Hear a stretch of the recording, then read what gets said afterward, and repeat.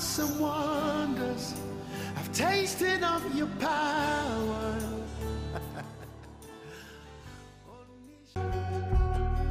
is a church. Church is where God's grace abound.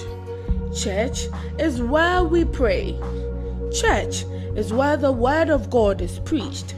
Church is where brotherliness and oneness exist. Church is where you are inspired. Church is where sin is not glorified. Church is where the righteousness of God is exalted. Church is where you discover your purpose in life. And church is True Word Prophetic Fire Ministry, the sanctuary of grace. Welcome to church. Our days of service are Tuesdays, one on one counseling session at 9 a.m. to 2 p.m.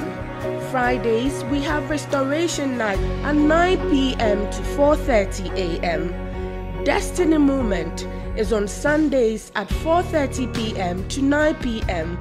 We are located at Achimota Mile 7 within the same premises as Fidelity Bank near the GOIL Filling Station. God bless you. True Word Prophetic Fire Ministry, raising people of fire, restoring destinies via Christ.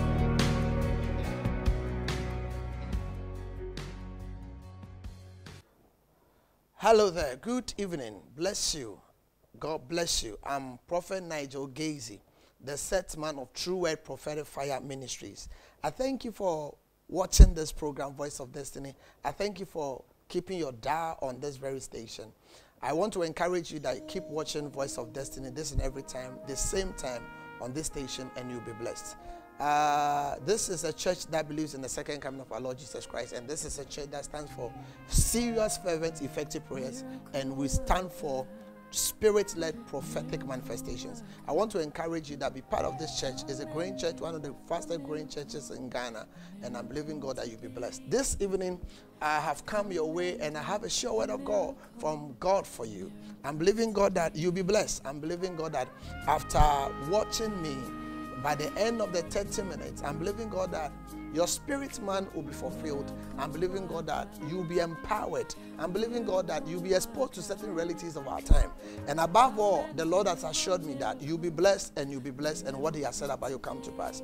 This evening, I'm preaching about a message I've been led to entitle Pushing for a Change. Yes, listen to me. Pushing for a change. Pushing for a change. I want us to bow our head and let's pray. Father, we thank you. I pray that as your word is coming, anoint my lips and use me to be a blessing in the life of your people. In Jesus' name. Somebody there, I wanted to shout, Amen. Thank you, and I bless you again for watching Prophet Nigel Gaisie. Beloved, the message tonight is entitled by the leading of the Spirit of God, Pushing for a Change. Pushing for a change. You should appreciate that life will not give you what you want. Life from the era of innocence through the era of grace Life will never give any serious man or woman what he wants, but life will give you what you demand and command. Hear me. Life will give you the good pleasures of life, the good demands of life is such that you don't, it, it doesn't just happen. We are in an era whereby manna has stopped falling. So anything you want in life, whether being in academic, whether being in every facet of your life, beloved in Christ, you have to push before the Lord God will give you. Somebody will say that what is this prophet about? What is this prophet trying to say or is about to say? What I'm trying to say is that in life, whatever, being you want the fruit of the womb, you want to be healed, you want to to travel abroad. Whatever you want in the light of the word of God must be fought for, must be demanded, must be commanded. Hear me. Watch me. I've been telling the churches in the nations of the world that there is no vacant blessing. Every blessing must be fought for.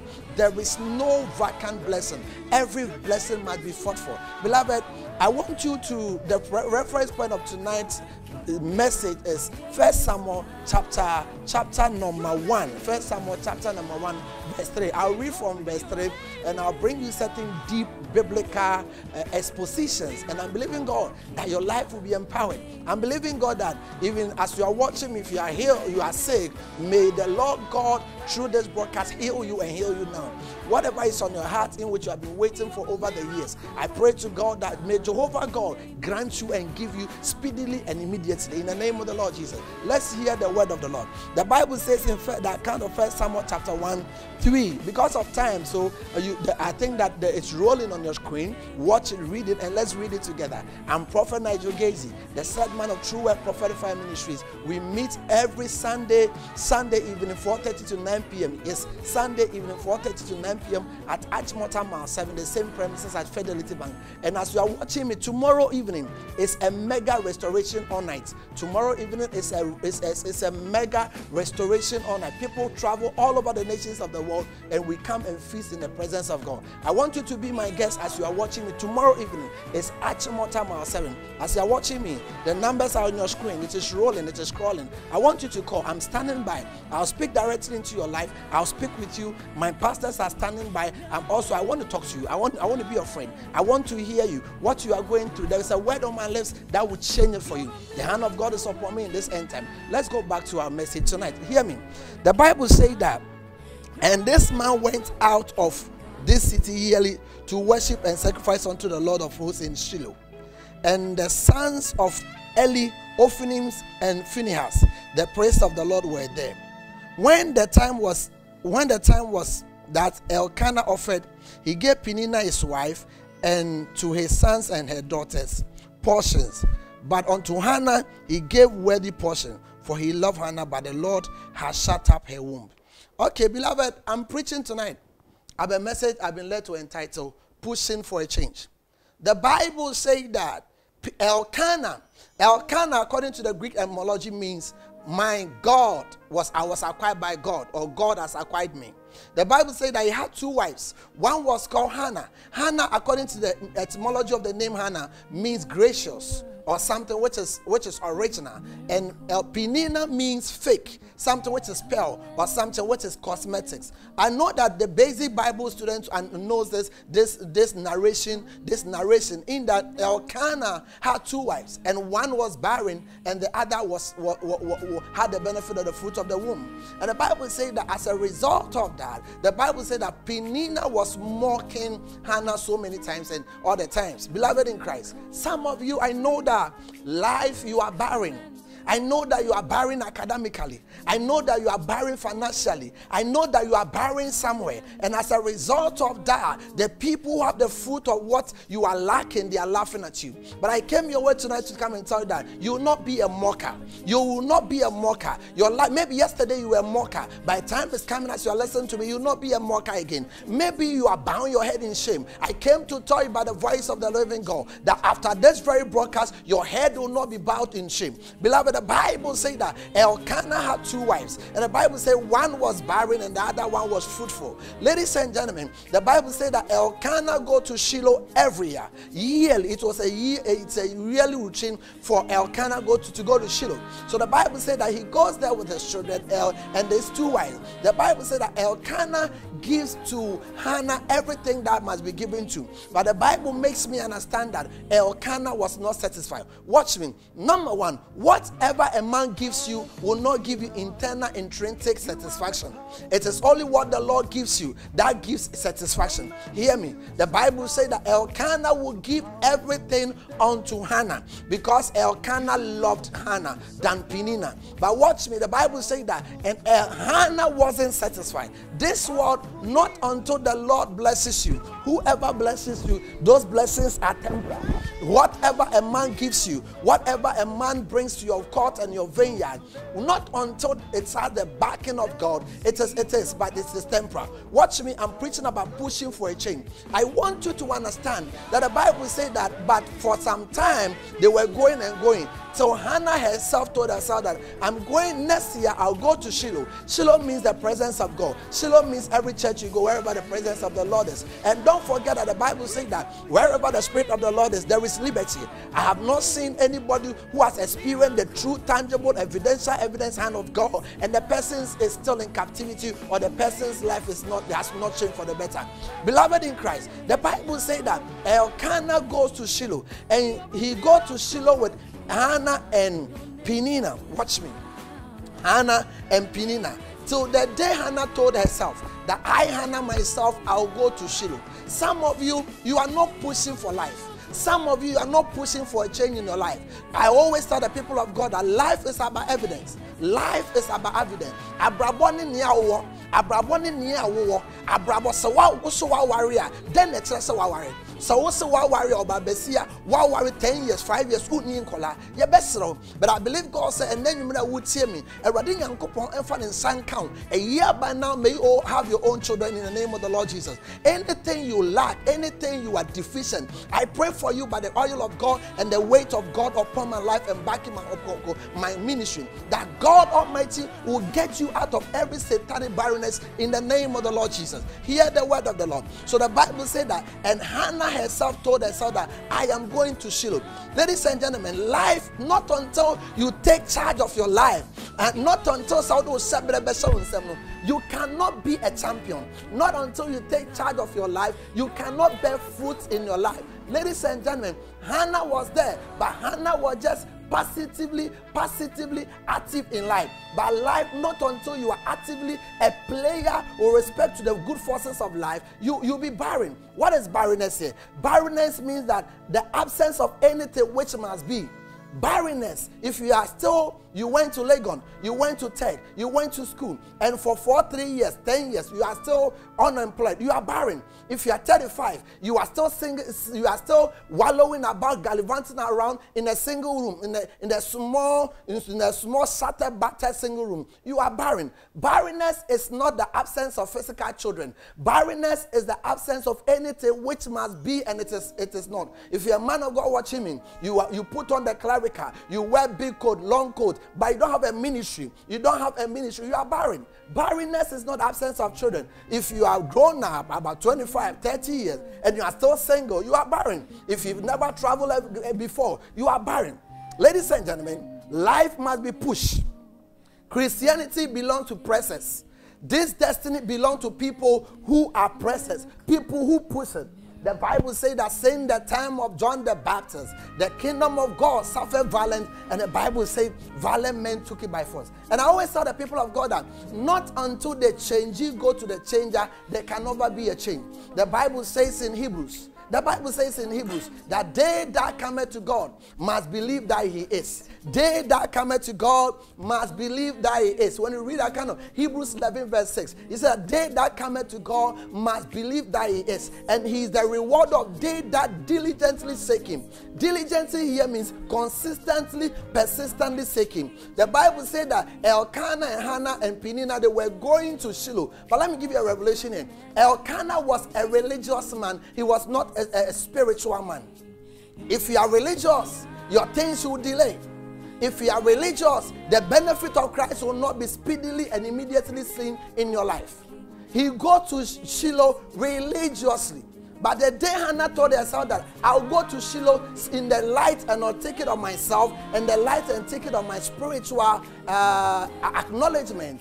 Ladies and gentlemen, the Bible says Hannah prayed. And when she prayed, the prophet Eli came out and said, or the high priest Eli came out and said that a year by now, may the Lord have respect for you. Beloved, life, if you don't take charge and push it for yourself, you'll be barren. Most of you are barren. Most of you, as you are watching me, there is nothing good to write home about. In the family, everybody, there is you, you are living a naked life. You are living a life like you are living a paradoxical life. You are living a retrogressive, repugnant life. I came to tell you that you're going to push it. You got to push it. That business, you got to push it. That marriage, you got to push it. That dream, you got to push it. You can't sit down, you can't sleep that, and tell me that you, you, you're going to make it. No, it doesn't happen like that. It doesn't happen like that. Christianity and, and people who take their time, the people who take their time and season are men and women who are pushers. The Bible says the day that Israel traveled, she brought forth. You have sat down for long. The Bible says a little sleep, a little slumber, poverty becomes your portion. Man of God, you got to push it.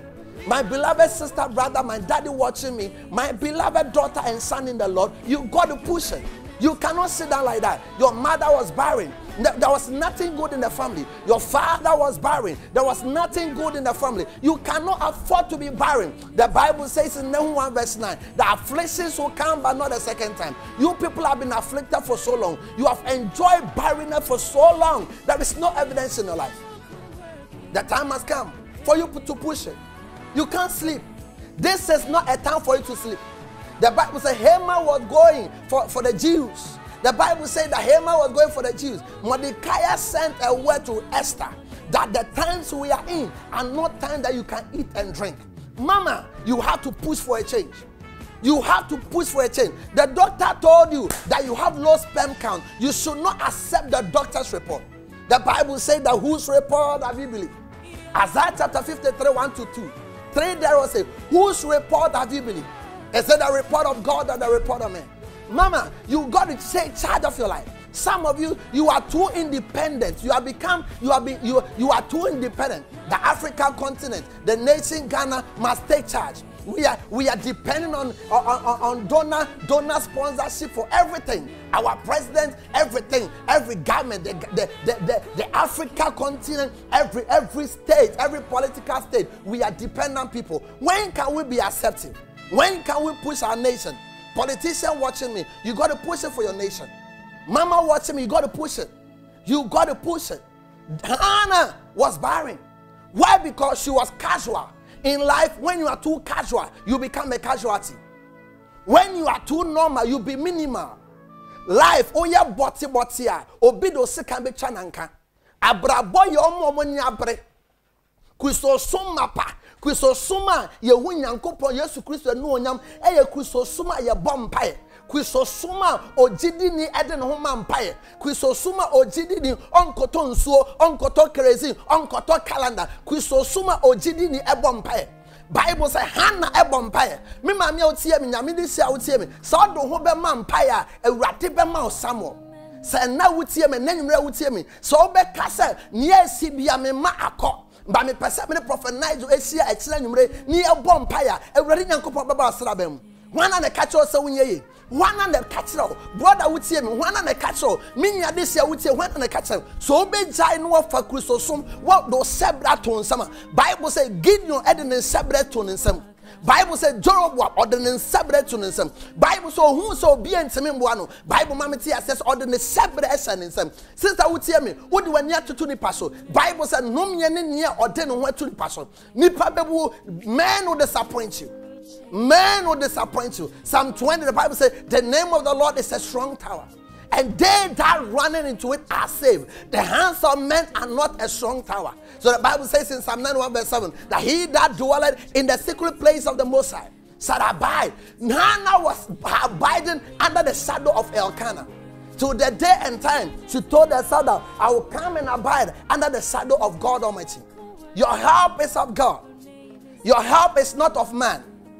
That breakthrough is not of man. That breakthrough is not as a result of your academic prowess or your academic credentials. Some of you I know you educated, highly educated, but what is education without the Spirit of God? The Bible says that it's not by might nor by power, but by the Spirit of God. Elkanah had everything, gave it to Hannah, but Hannah was not satisfied. Bible said the hand, the help of man is, but it is temporal. I came your way, I'm Prophet Nigel Gaisie. That push it if you're a student watching me, you got to push it. You got to push it, yeah. You got to push it. I push it, I'm pushing it. Nobody's going to cook it for you, nobody's going to make it happen for you. It is between you and your God.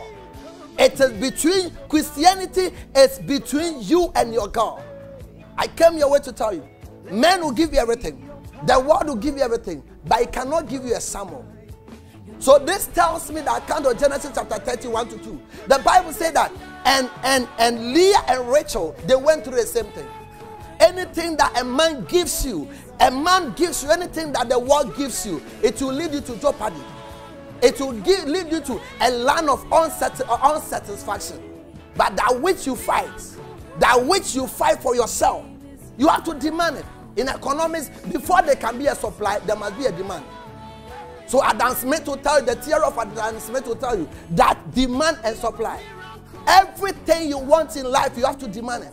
And the Bible said that the God of all flesh shall surely indeed supply all our needs according to his riches through Christ Jesus.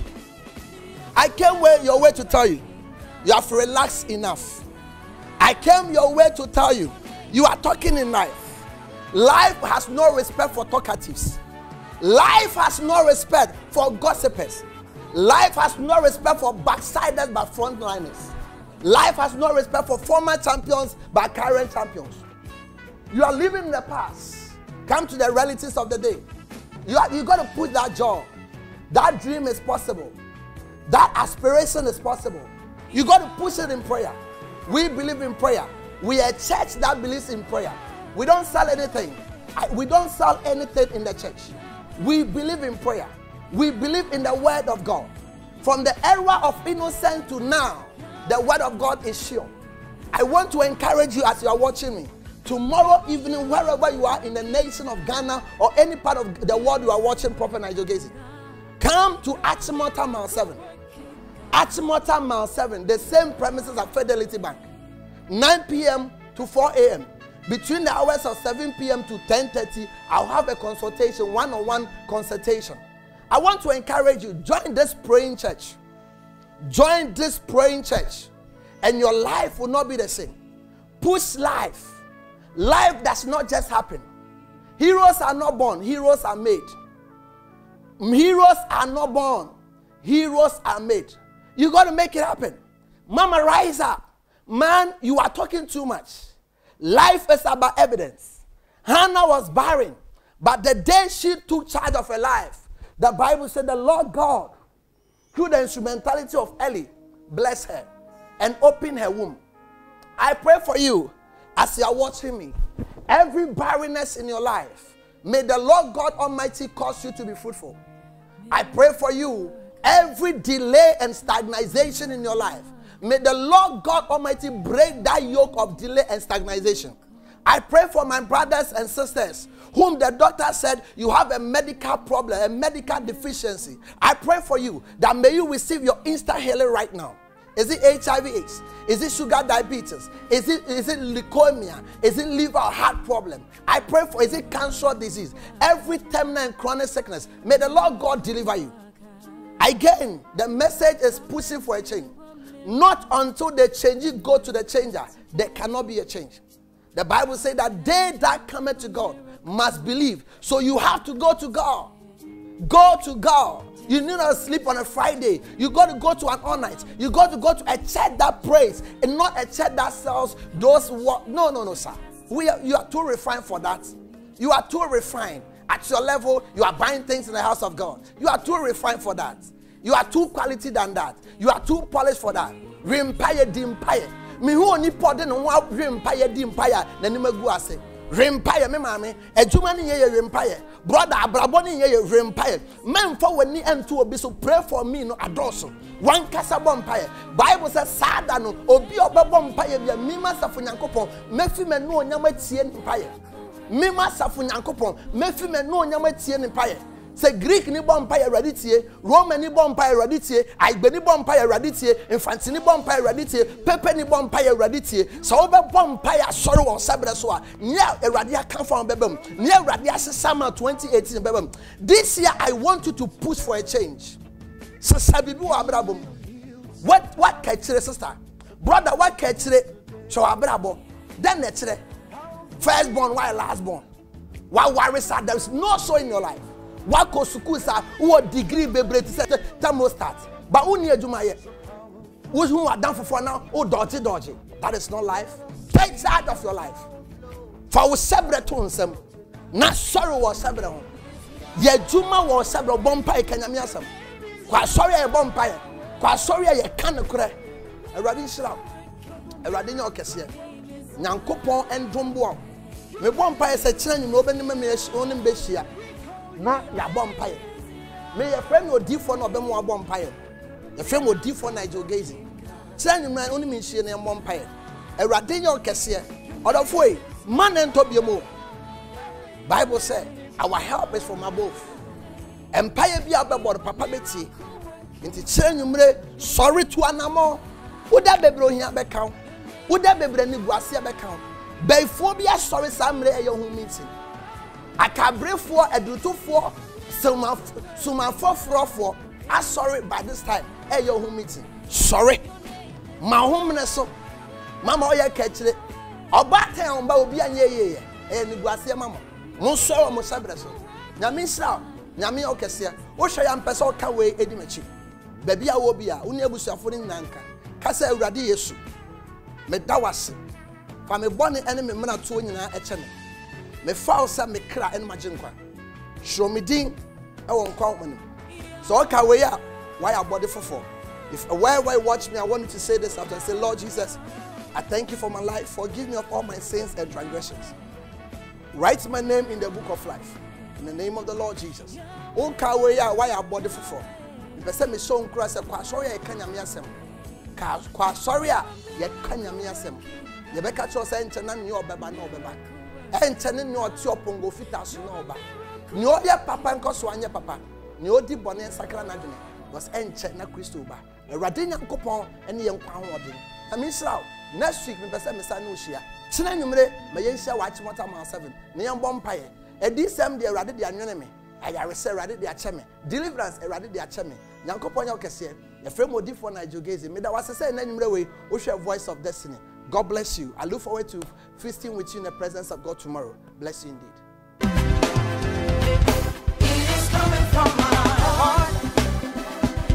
How are you?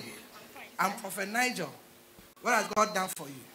God has done the unbelievable, the undoable, because um, I came here less, on the 10th, on the 10th of February, I came Uh-huh. here. Um, I and my fiancé, we planned to get married, and we paid for everything September last year. And two weeks to the wedding, and then he called the wedding off. came here Yes. i picked you You picked me, and he told me Friday, if you are a man of God, by Friday he will come. uh-huh. what happened nti awareɛ nti na sesa ne seresere saa no Eh, eh, eh, what happened God, God grace. uh-huh. God grace, the, the visa, look look uh-huh. God grace, the visa was expired. Um, they cancelled his flight, so he couldn't come. But he sent someone to represent him. And God willing, on the 10th of March, I'll be going to Switzerland, so we sign it up. Say platinum. Oh, do you have the single ladies here? Do that. Let me see.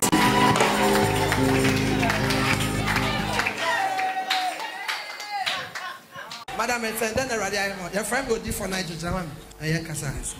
mehyɛ deɛ nyame ayɛ ama me ɛberɛ mu adwene ne mente aseɛ so mesrɛ mo agyidifoɔ momfa yɛ kra yɛ nipadua yɛ honhom nyinaa ma asafo yi na biribipa bi ɛfiri heaven ɛwɔ meba ha nhyɛ da nkyɛn so nyame deɛ ɔnim me dada mepamokyɛ ɔbɛn afe ne fani na mentumi na revival no meyɛ m'adwene sɛ maba fie ha de biribi a ɛbɛyɛ biara yesu te ase meba a obɛhu me mmɔbɔ Me- mada fiti da a yɛ revival no abɛsi nna ma Bon, so much Jesus.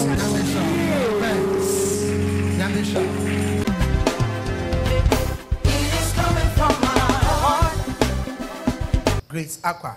I'm a prophet. What do you do? I'm a pharmacist. A chief pharmacist. Then the radio amount. Um, I was supposed to go for a visa, and um, I prayed. I spoke with Prophet Nigel, and he prayed, and he told me that grace will speak for me. And I went there, and the man couldn't even ask me anything. He didn't look at any of my documents. He just gave it to me. Omo I ma was say. there. Omo ma say. I'm yet to see the number of years. It will be Yes. five years. Amen. Amen. I give glory to God. So receive that grace.